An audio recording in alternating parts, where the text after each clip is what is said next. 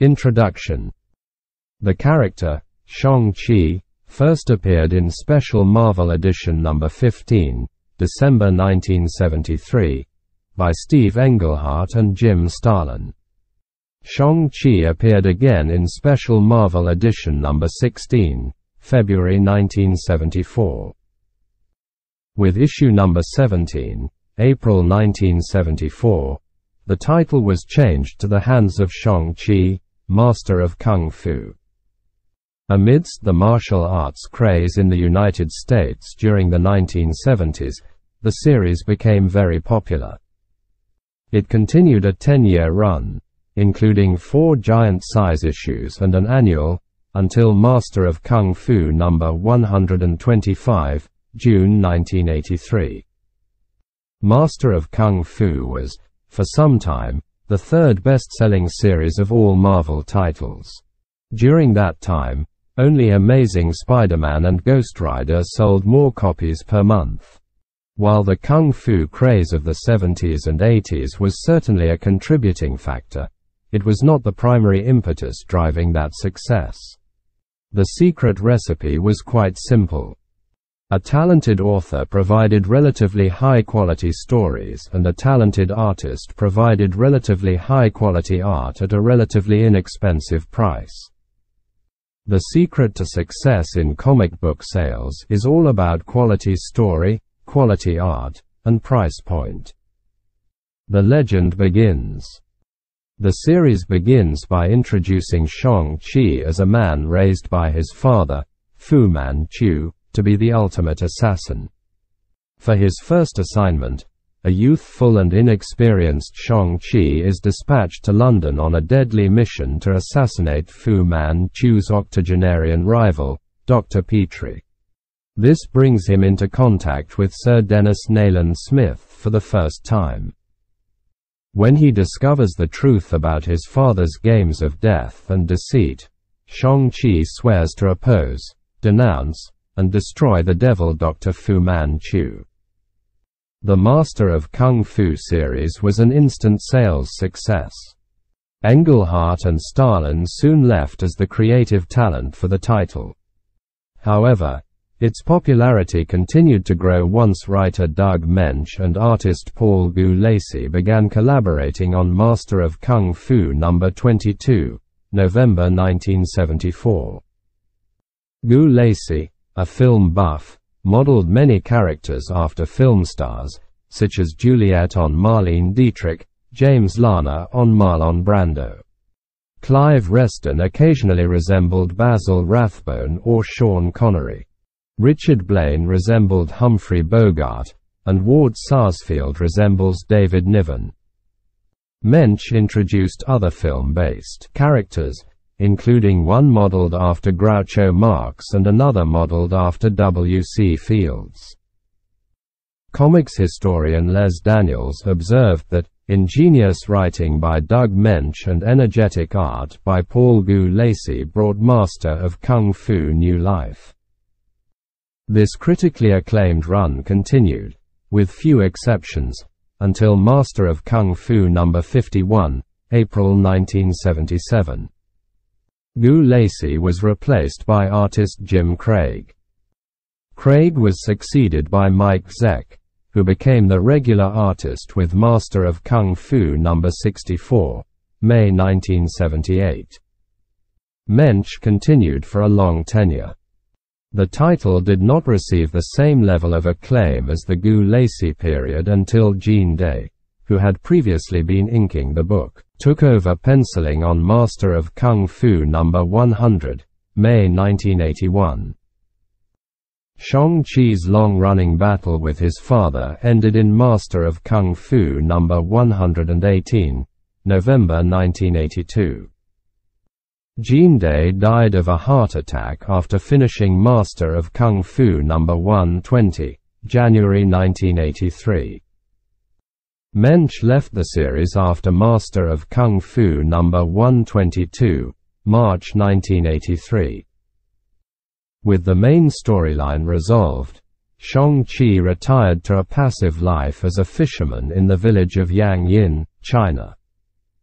The series was cancelled with Master of Kung Fu number 125, June 1983.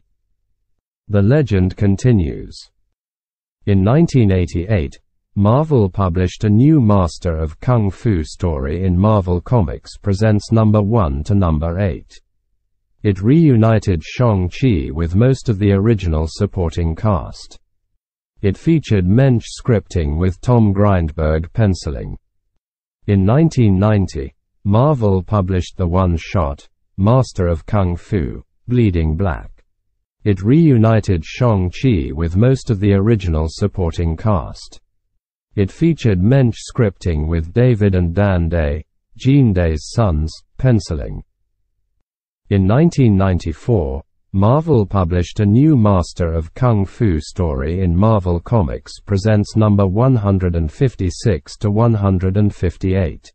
It featured Shang-Chi with Leiko Wu and the Midnight Slasher from Deadly Hands of Kung Fu number 8, January 1975, with Carl Bollers scripting and Cary Nord penciling.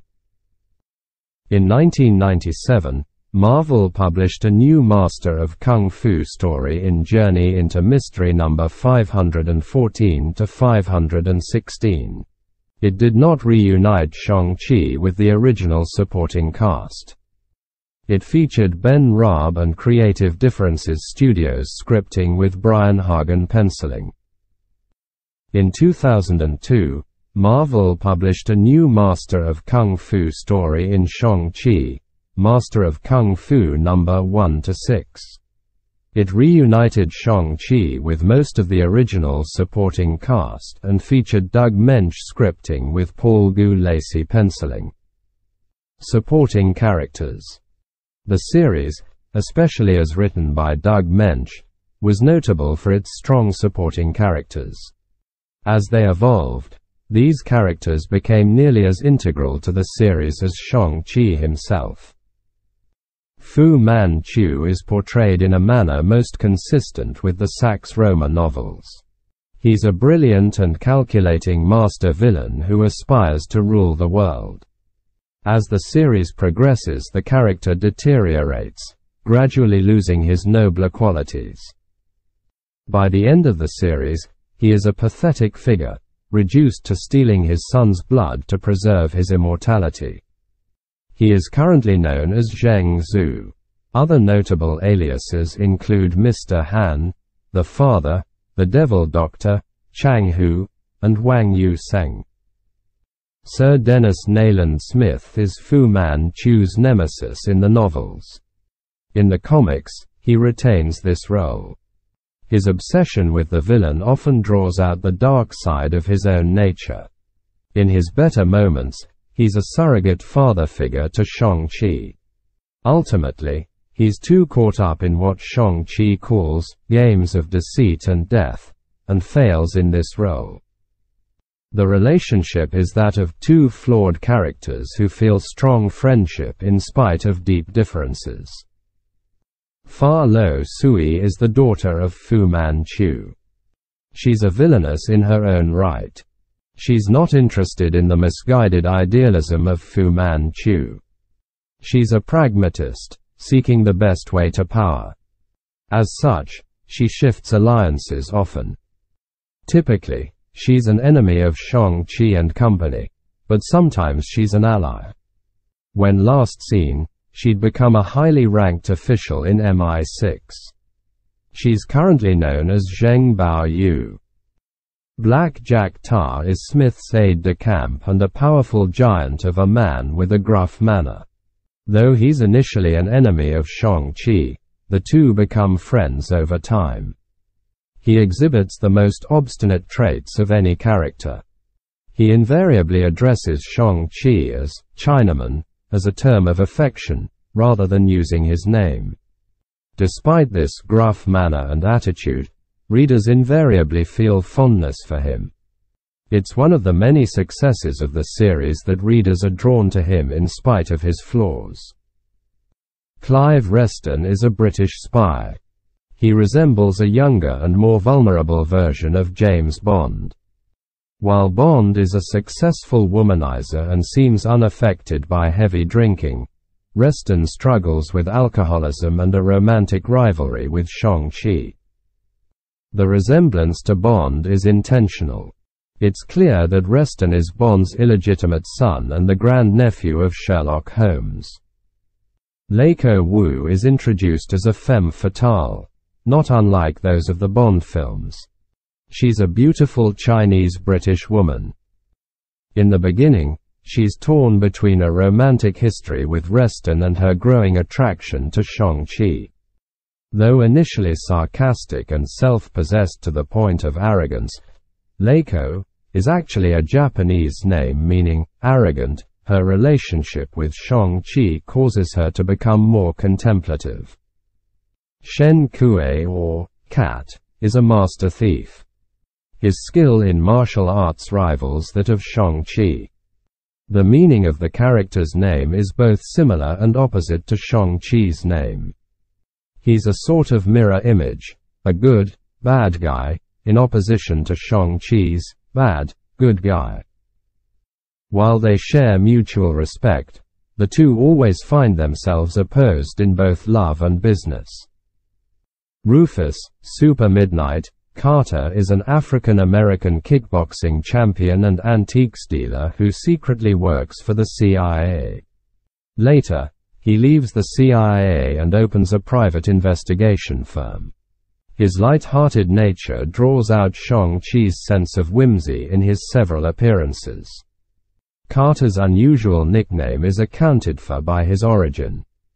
A colleague challenged Doug Moench to write a story using Carter's Super Midnight, a particular brand name of carbon paper, as a title. Awards 1977 Eagle Award for Favorite Continued Comic Story Doug Moench and Paul Gulacy for Master of Kung Fu number 48 to 51. 1977 Nominated for Favorite Comic Book Artist Eagle Award, Paul Gulacy.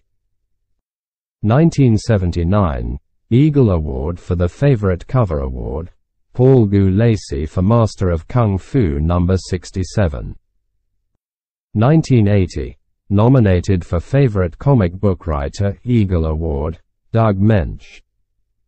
1981 Inkpot Award, Doug Moench. 2010. Comics Bulletin ranked Master of Kung Fu 6th on the list of the top 10 1970s Marvels, Doug Moench, Paul Gulacy, Mike Zeck, and Gene Day. Nuff said.